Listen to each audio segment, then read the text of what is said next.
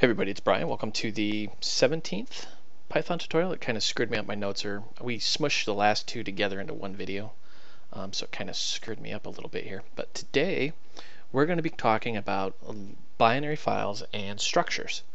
And to kind of help me with that, we're going to look up on Wikipedia the JPEG file format. You're all familiar with pictures out on the internet like this cute cat. Everybody knows I love cats.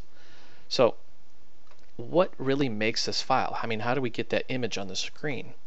Well, you use what's called a structure.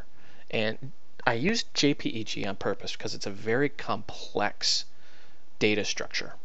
And if you just kind of scroll down here, you don't have to read all this, but just understand. Remember how we talked about, you know, hex FF is 255 in the last tutorial? That's the start of the image. So you have this nice structure here to work with. This is the common JPEG marker. And what this is, is just simply a data structure. You'll hear this in different languages. You'll hear it called um, a head, a header, a struct, a structure. Um, in Python, they're just structs.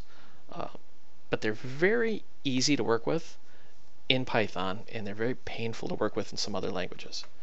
Now, what would you use a struct for?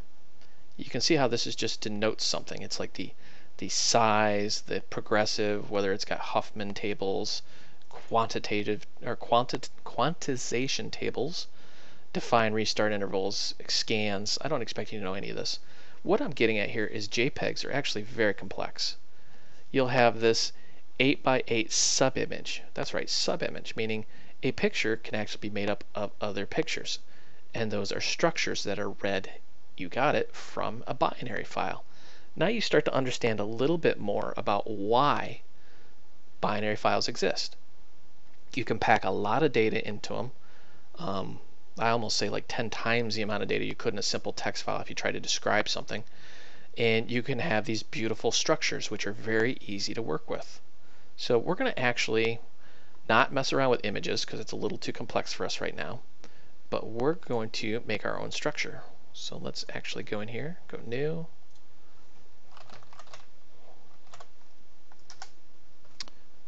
Did I call it video 18? Ah, I did. This is video 17. My bad. Like I said, my notes just totally video 17. There we go. We're going to call this struct. Now, first thing we want to do is I'm going to link, uh, link, geez, put a link in there for when you download my tutorial off my website that you can very quickly go out and read about this. But we're going to, from struct import star. What's that? What that's really doing is we're taking the struct and we're importing everything inside of it, that struct package. We've done this before. So, And we're going to make a string literal here, which is, of course, the path to our file. And yours will be whatever, you know, C, my documents, etc., etc. little quick rant. It just bothers me. I mean, I used to love Windows, and I got a Mac, and I got into Linux, and I just it just bothers me that Windows is different than everything else on the planet. It's like, why can't everything just be the same? So, with a structure, we need a format. What does that mean? It means you need to understand what you're putting into that structure.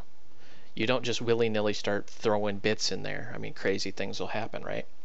So with a structure, you have two concepts, packed and unpacked. Pack is when you're packing it down to store it into a file or like into a box. Think of it that way. You're going to package it. And unpack, you, well, you guessed it, you're pulling it back out of that file and you're going to do something with it. So I'm going to say packed equals pack, and this is from the struct package. Now, First thing you need is the format.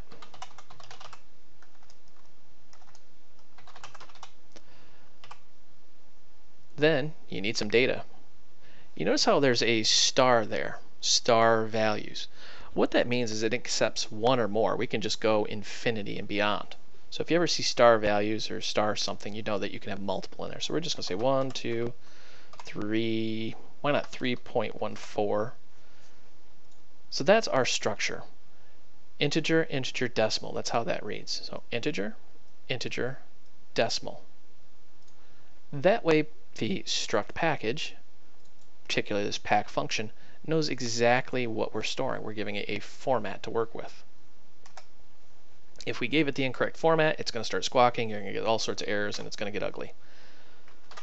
This is a pretty dumbed down example of struct pack. You can find some very complex examples out on the internet, but I really wanted to dumb it down just so we understand what's going on here. Now we've got our packed structure here. So let's just print this out just to see what it looks like. I'm a big fan of show and tell. And you can see there's our structure here. Holy moly, look at that. That is a whole lot. What's going on there? Well, if you paid attention during your computer class, you know that an integer, at least on my platform, is 4 bytes. So there's 1,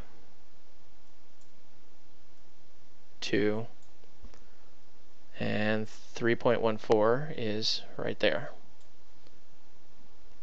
So that's what's going on is the packed function turns this into a binary string that's, you know, essentially Python's going to push it down onto the disk.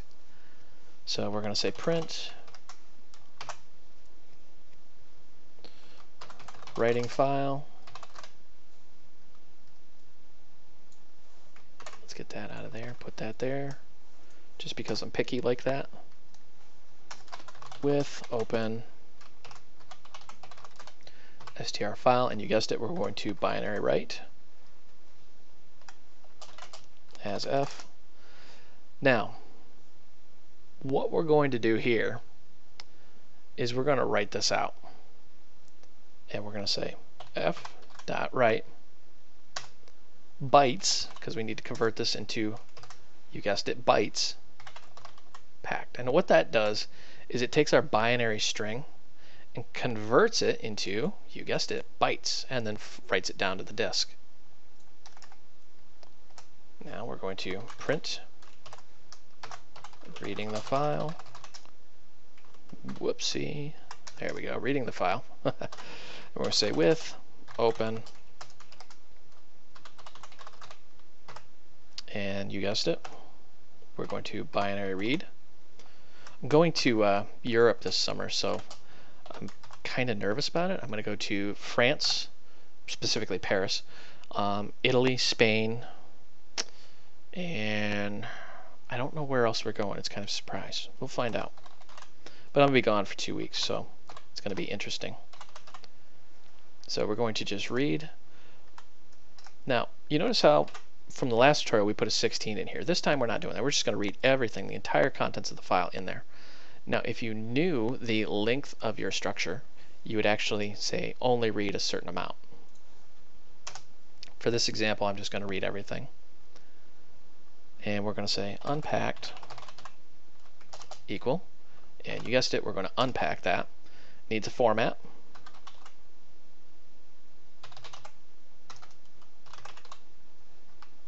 and we're going to give it the buffer.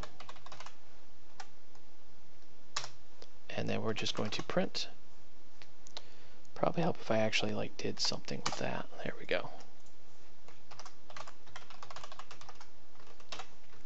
Whew, let's see if this thing runs. All right, so we've written the file, we're reading it back, and sure enough, we get, you guessed it, 1, 2, and 3.14. Nice. Let's see what that looks like out on the disk. Mm -hmm. And there is our beautiful file in all its glory. It may look different on your screen, but that is the gist of it all. So that is a struct. Now, you know the basics of why you would use a struct. Now you can think of certain projects that you would do, like if you wanted to store like uh, somebody's employee ID and their age or something like that, you'd make a nice structure and you could, you know, pump these out to the file. That's all for this tutorial. I hope you found this educational and entertaining. Thank you for watching, and be sure to visit my website, voidrealms.com, for the source code for this and other tutorials.